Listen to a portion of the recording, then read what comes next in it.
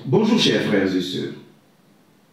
Aujourd'hui, la météo politique ivoirienne aborde le dossier Big Togo pour vous démontrer qu'au PPACI, on ne ment pas, on dit la vérité, on ne fait pas de la propagande. On apporte des preuves de ce qu'on avance. Alors que les partisans de Ouattara font de la propagande, ils disent des choses qui ne reposent sur rien. Nous savons que le président Laurent Gbagbo, lorsqu'il a envoyé ses candidats participer aux élections, a dit que la CEI de Cuibière a fait le choix de la fraude. Alors selon vous, quand le président Laurent Gbagbo tient un tel discours, après les élections, il fait le bilan de quoi? Il fait le bilan de la victoire de ses candidats ou il fait le bilan de la fraude Mais voilà qu'en Côte d'Ivoire, nous voyons des Ivoiriens qui disent, lorsqu'ils font le bilan de la fraude, le PPACI n'est pas solide et que le RHDP est fort sur le terrain. Comment pouvez-vous faire le bilan de quelque chose qui est faux et trouver quelque chose de logique? Comment pouvez-vous avoir des chiffres qui sont erronés et à partir des chiffres erronés, faire un bilan objectif et dire les conclusions sont objectives Je pense qu'il y a quelque chose qui ne va pas. Parce qu'on ne peut pas dire que les candidats du PPACI ont démérité. Non. On regarde plutôt comment a été organisée la fraude électorale. Voilà pourquoi le président Laurent Gbagbo a envoyé ses candidats. Il n'a pas envoyé ses candidats pour recueillir des victoires, parce qu'il sait qu'il est face à un système corrompu qui a fait le choix de la fraude. Alors ceux qui, à partir de la fraude, font des conclusions qu'ils disent objectives, je pense qu'il y a quelque chose qui cloche dans leur affaire. Il faut qu'ils revoient, ils se revoient eux-mêmes. Parce que si on n'est pas en possession de ces sens, alors on peut raisonner de cette manière.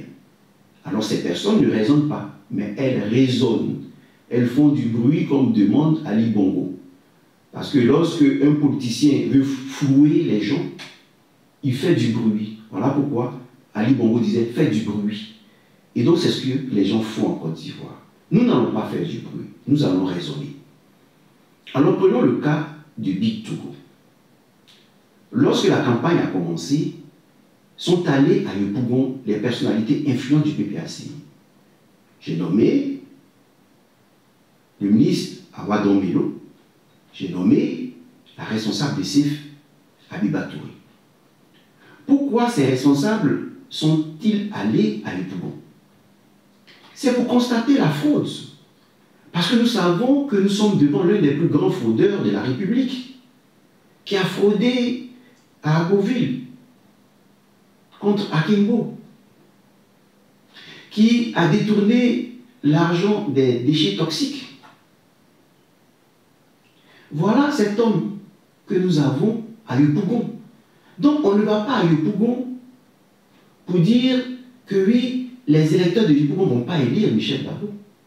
Mais on va à Yopougon pour savoir quel type de fraude il va utiliser pour chercher à être élu. Et le travail est en train de, se faire de manière souterraine. Pourquoi? Parce que lorsqu'un navire prend de l'eau, eh bien, les rats se retrouvent au-dessus, sur le pont. C'est ce qui se passe. Pendant qu'on est en train de chercher à comprendre que Big Togo a acheté des votes à Yopougon, et l'achat des votes c'est de la corruption, et c'est interdit, on peut le suspendre pour cela. Tout Yopougon a mangé toute une nuit au maquis internat. Les preuves sont là. Où Big Togo a-t-il pris son argent pour nourrir tout un quartier, toute une commune, la commune la plus peuplée de Côte d'Ivoire? Comment a-t-il pu nourrir cette commune au maquis internat Donc, cela nous amène au budget de campagne de Big Togo. Et les avocats vont envoyer des dossiers, envoyer des requêtes pour savoir où il a pris son argent, pour démontrer déjà qu'il y a eu achat de votes. On ne parle pas encore de l'inversion des votes, parce qu'on sait que Michel Babot a gagné les élections et que la CI a inversé les voix. On l'a vu avec Adjumani, parce que nous avons vu le candidat face à Adjumani qui nous a démontré que la CI est capable d'inverser les voix. Mais ici, prenons le cas de la fraude. La corruption a eu bel et bien lieu à Yopougon. Et que fait-on pour cacher cette corruption? On nous annonce qu'au groupe Snedaï, il y a eu un détournement de fonds de 1 milliard 679 millions de francs CFA. Qu'est-ce que, si l'on réfléchit, on a le droit de se poser des questions, est-ce que ce détournement dont on accuse les cadres du groupe Snedaï n'a pas pour but de chercher à cacher le budget de campagne de Big Togo. Est-ce que cela n'est pas crié et bruité pour cacher ce qu'il a fait à Yopougon, la corruption à Yopougon Voilà comment le PPACI fonctionne. Vous voyez, ce qui se passe n'est que le combat mené de manière silencieuse par le président Laurent Gbagbo. Parce que Big Togo doit justifier où il a pris l'argent de campagne, le budget de campagne.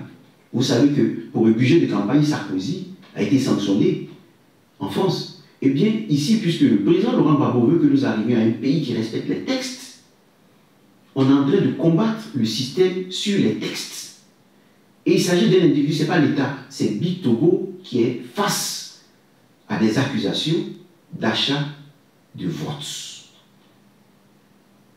Et vous allez voir que dans le dossier de justice, nous avons un élément encore très important, parce que le groupe Snedaï a été mis sur pied par Désiré Tago et par Big Togo.